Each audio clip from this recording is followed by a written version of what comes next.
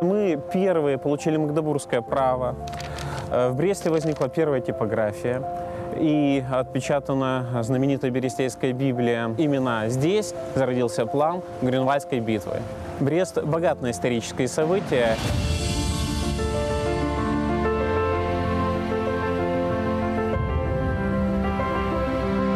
Мы сейчас находимся в музее Бересте. Как раз-таки именно здесь начинается история города. Впервые Брест упоминается в 2019 году в повести временных лет. И именно эта дата считается днем рождения города. Хотя некоторые источники, в том числе и археологические, нам подтверждают, что город еще более ранний. В 1968 году начинаются археологические раскопки на Брестском городище. А Возглавил их академик Лысенко. Особенность такая, что болотистая местность хорошо сохраняет органику. И э, в последующем был скрыт достаточно большой культурный пласт, э, который показал, что э, Брест является одним из древнейших городов не только Беларуси, а в целом на территории восточных славян.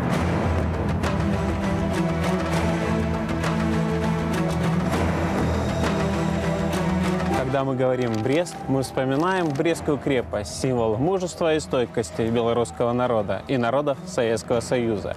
Гитлеровцы давали всего несколько часов на взятие крепости. Но крепость держалась более месяца. На 32-й день войны был захвачен майор Петр Михайлович Гаврилов. Ежегодно крепость посещают сотни тысяч людей из десятков стран мира.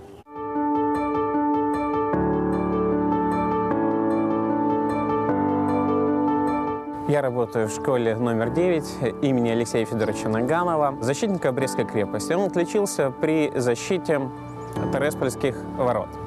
А В целом э, школа достаточно большая, учатся 1200 человек, и в школе созданы все условия для получения образования учащимися.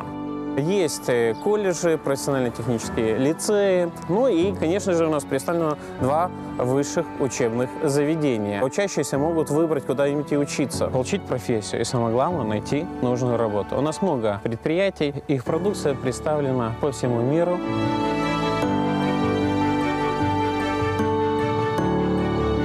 Активно развивается социальная сфера.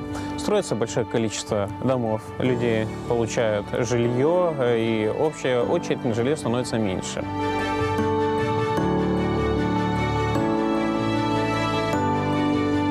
У нас на высоком уровне качество оказания медицинских услуг, и оно постоянно улучшается. Происходит модернизация учреждений здравоохранения, закупаются новое оборудование и готовятся соответствующие специалисты.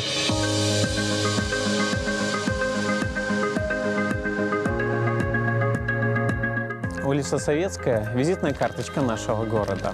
Именно сюда приезжают наши гости, туристы, друзья. Здесь много кафе, ресторанов, уютных магазинов. Не всегда эта улица была пешеходной. Последняя ее реконструкция касается 2009 года. И именно тогда появляются малые архитектурные формы, здесь присутствующие памятники, фонари, которые зажигает фонарщик. Он каждый день в определенное время зажигает керосиновые фонари.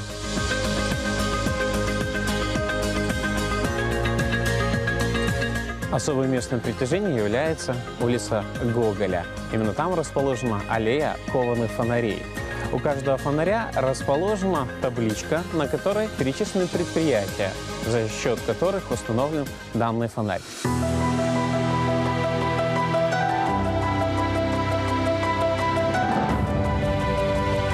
Я родился в этом городе, вырос, учился. Здесь родились мои дети. Он очень красивый, прекрасный город. Я его люблю, и это мое место для жизни.